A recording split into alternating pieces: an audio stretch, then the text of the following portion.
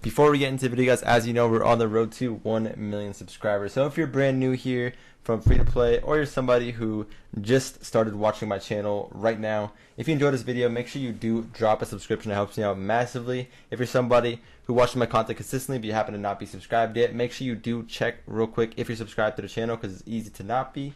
Uh, so make sure you do hit that subscribe button and let me know down below when you have. I appreciate every single one of you guys. You're the absolute best. Thank you for all the support on the channel. Hope you guys enjoy today's video. Yo, what is up guys? So yesterday the Llama Rama event came out. They released the battle bus with this event.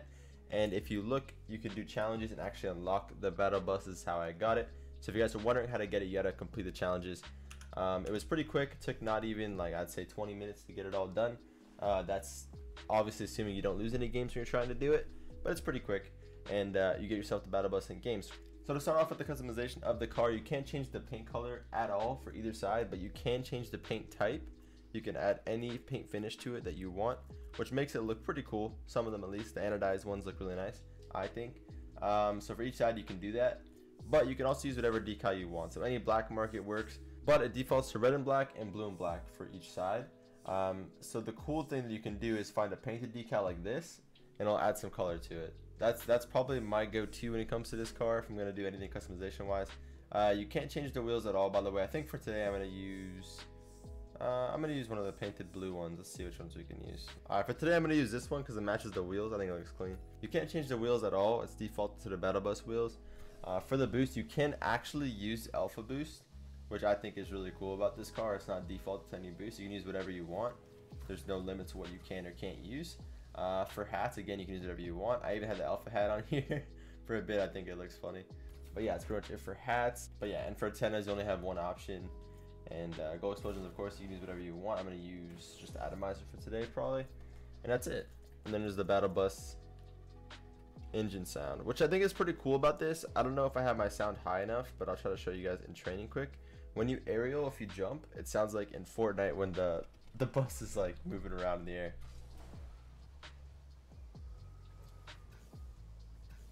I don't know if you guys can hear that. There's music that plays and that little like horn sound. So yeah, I think that's pretty cool. Pretty cool feature that they added. But uh, we're gonna be playing some ranked today. I'm not actually Supersonic Legend yet. I haven't been grinding ranked.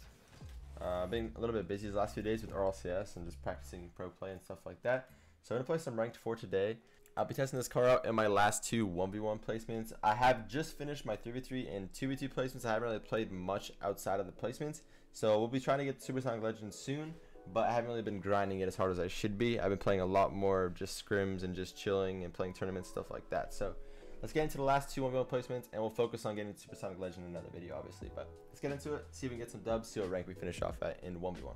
Alright, for the first game, I played against someone named Secret I don't think I mentioned this yet, but if you guys are wondering why there's no profile picture, because I'm playing on Epic Games right now. Uh, there's been some issues with Steam lately, ever since the Switch. Um, the game's been a little bit laggy on Steam, so switched over to Epic Games temporarily, maybe permanently, depends on uh, the future, how things go in terms of uh, Steam starting to feel better. Better stay on this ball. It's gonna be close to me here, so I should try to slow down the play a bit. It's not to want to challenge me if I have full control of the ball here. Just go for a flick, create some more pressure. Try to make it weird for him here.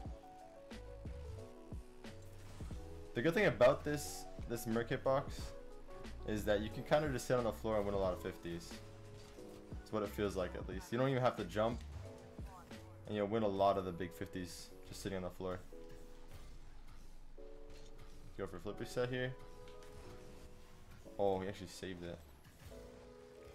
It's a bad idea though. Try to just block him. Good 50s from him. I should wait. I just turned there. Try to bait him in a little bit. It's a good bait. I still have full control of the ball here, so we're good. We've had to make him play very reactionary a lot of these a lot of these plays. So we're still to have control after it all. The bad thing is he did just get that boost, but he can't actually get a goal out of it, so it's okay. As long as I turn away here, I don't get bumped. It's to be fine. I half flipped out of the way well there. And go for a shot. Might even be in. There we go. That was good, the half flip out of that. That was a good flick from him. Almost caught me challenging that. He did catch me challenging it, but we recovered well. The half flip there. Good fake challenge. He's to have the ball back. Got his boost, which is huge. I should go for his other boost here, because I know he's to be low. So I could have a crazy amount of options outside of just shooting it. I could be able to shoot that maybe. I go for another shot. There we go. Started him out early, he didn't really have an option to break out of his half. All he could really do there was just save it off his backboard. He's kind of forced to. Good fake challenge. Maybe caught him out as well. There we go. Those are really OP. That's something I've been doing for so many years now in ones. You do those fake challenges if they commit to your boost. Go for the shot. Save some boost, go for the shot, you get a free goal. Alright, that was a good touch. All I could do there to get out of that situation is he was really close to the ball. Try to control this. Let him hit that. Again, I can create a lot of pressure with this. I have all the advantage here. I'm just gonna toss it up high, see what he does. Gonna fake jump. Make a panic a little bit more. Keep on throwing shots on goal. That shot could have been better, but it's fine because we still still have him in a weird spot here. It's gonna be tough to save for us though. There we go. It's a good save. It's a good air dribble from him. You have to wait till the very last moment to save those, or even have a chance at saving those. The patience from us. I won the boost, which was huge there. Try to fake the shot. I don't think I can get back to this. That was a good play from him. I ended up missing. He rushed it a little bit. If you have empty net like that, just take your time. Try to take an extra second if you need to. Don't just over rush. I'm going to go for a cheeky flick here. Oh my god, he saved it. It was a good beat. That's something I'm used to doing in threes a lot for my teammate. If you just beat it off the back wall like that.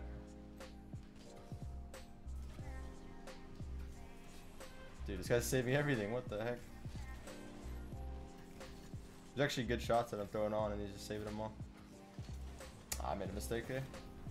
A good catch from him. I don't know why I got stuck in the corner like that. Like, in my head, I thought he was going to go toward the corner. Good play from him. Good defense from him. He's playing well.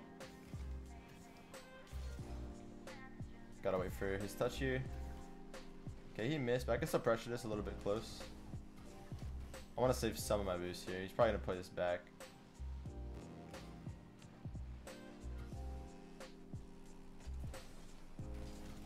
That's fine. I can get the boost now. It's the big part of that play. He's not going to have a good shot. I don't have to panic yet. There we go. I saw him back off. Go for air dribble bump, maybe. How is he saving these, dude? Everything. There we go. Good save. Good flick from him. When they're playing like that, like slow forward and have a dribble, I know if you're brand new, you're not going to see that very often, but if they are playing like that, you have to just wait to the very last moment to save the flick. That was kind of a troll from me. To even try to go for that. I was trying to be cheeky. Drop it down and then get the follow up. I think we've been doing better in terms of offense. He's just saving a lot of the stuff we're throwing at him but it's fine. Try to play this next 10 seconds out smart. Get ball possession for free by faking. I'm gonna fake again. There we go. Should be fine. I was a little bit closer than I would have liked at the end, but there's a, a Grand Champ player from last season that used to play a lot. Was high MMR. Probably gonna be Supersonic Legend soon, so quality player. He was saving a lot of my shots. I don't know what more could have done in a lot of those shots, honestly. He was just saving a lot of them. We had most of pressure the whole time. He scored off counterattacks. Majority of his goals, I think it was. I think both of them were counterattacks, so that's just me over aggressing. Getting scored on counterattacks, the good thing is it's an easy thing to fix in ones. Just don't over aggress too much. But let's get to the next game. Might be him again, honestly. But yeah, it was a good game. He played well on defense for sure. Uh, let's get into the next one, see if we can keep it up. Let go, let go. Alright, playing against someone named Feed, and we'll figure out our rank after this. But so far, what I think of this car is uh, the height on it makes winning 50s a lot easier. Like even kickoffs, that kickoff right there, honestly don't think I would have won it that hard if I was on Octane. The height feels really good for winning 50-50s and challenges in general. That's something that I definitely think has an advantage over other cars. Um, outside of that, the one thing that distracts me a lot is when that the back door opens up when you boost. I find that distracting for some reason. This guy has alpha boost. I wonder who this is. It's alpha boost and alpha wheels. So he's gonna be a solid player just based off of that. If you're that committed to the game to have those items, probably have a lot of hours. Good shot. Not much he could do about that to be honest. He has to pre-jump. I boost starved him and I had ball control.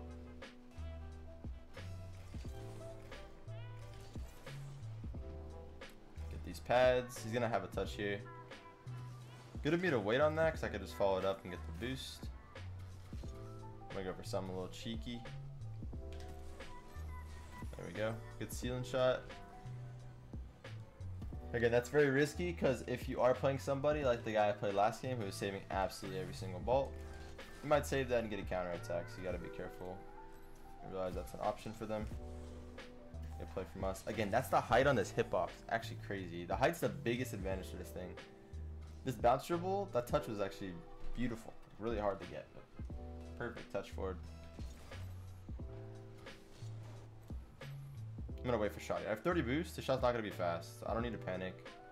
He hit it over. I'm just gonna play to the left. Oh, double flipper on the battle bus. Oh no, I didn't even get. I didn't even get the first one. I feel like I had it though. Wait, what is that? Explosion. I couldn't even see what it was. I'm sure he'll score again. Sounded loud though. Just trying to stay close here. To get the boost as well. If I can get his boost, that'd be huge. He has to go all the way back now. I know I have a lot of time, so. Look how late he is to this challenge. I have all the control in the situation. Decided to go right away, but that's fine. As long as I flick or jump at all, he's gonna have way less options on the ball there. Bumped him off and I got the boost pretty huge. I'm not gonna waste my boost though. I do have almost full. That's fine. I can just go back pretty easily. Try to go for the bump on him. There we go. I know I couldn't follow up the ball straight up anymore. Toss it toward net and just went straight for the bump. Normally you'll see that as an air dribble, or someone will air dribble with the ball and then just leave it and go for the bump. Which I'll try to do for you guys as an example next. But that's uh, a little bit of a different version of it. Which just like adapting to the situation a little bit more. Oh, the double reset on the battle bus. No, dude. Got nervous. Too much pressure, man. Too much pressure. I've never felt so much pressure in my life. Not even the world championship.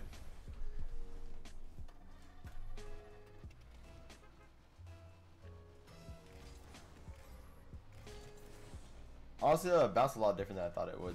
I probably would have had it. I just, I guessed the wrong bounce. I should have played more reactionary than preemptive. I messed up my challenge. Pretty basic dribble from him. I should have just played it slower. That's all. I guess that Mr. Monsoon goal explosion.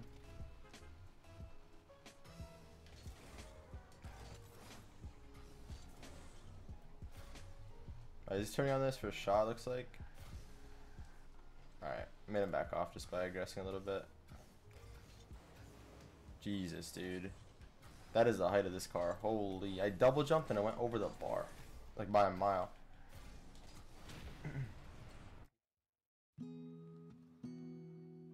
Good demo from him. That's the OP thing about demos in this game mode. You have three whole seconds of a empty net. a little bit broken, but valid strategy. Alright, I'm gonna start going for more normal goals again. So I don't throw the lead in the game.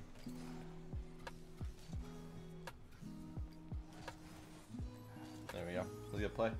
Good fake jump, make him think we're air dribbling, They went back down to the ground. Got a good shot as well. I noticed he doesn't really like to challenge And if he does, he goes all in. He never really baits first. He kind of just sits behind the ball or he goes all in. He doesn't really have an in-between. I should have went for this, probably. Yeah. So look laggy, but that's an air dribble bump what he did there. You can't save it. There's nothing you can do to save it at that situation. I should have either went I would I should have had like more of an in-between where I cover both options because if you give someone enough time to do that, get that close to the net, normally it's going to lead to a goal against you. To get 50. Job to stay on the ball. Look at his boost is pretty huge here. I'm going to stay on this, get the other boost as well. He's going to be really low now. Let's try to get pads. We'll probably see him getting pads in a second. Get the other boost here.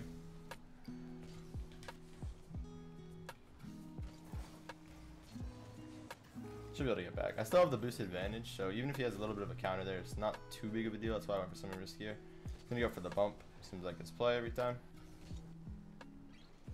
You'll notice tendencies a lot, like throughout the game, where people will do the same thing over and over again, right? And you'll you'll start to learn by the end of the game what they do. So you can kind of make a educated guess Instead of just like not knowing every time, you'll you'll have more of an idea of what they like to do. Good challenge. Can't out 50 this thing, dude.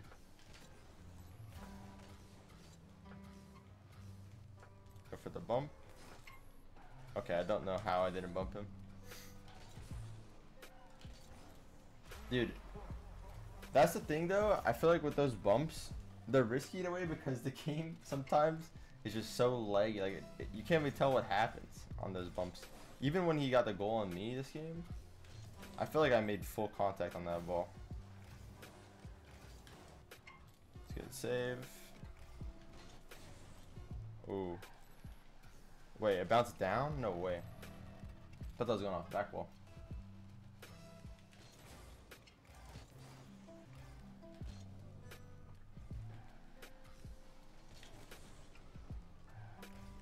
That's unlucky bounce for us. He's gonna have a dribble now. Sometimes the game just doesn't bounce your way and that, that happens, but we gotta go out of it. Should have been probably a free goal for us, it just bounced up. Unluckily. But yeah, that was a pro player.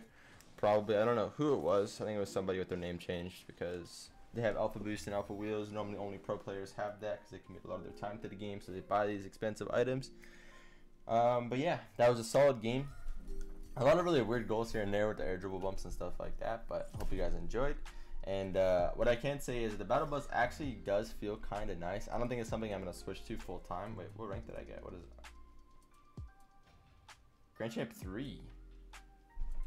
Are we close to Supersonic Legend in this? Grand Champ 3 Div 1. Okay, we're not.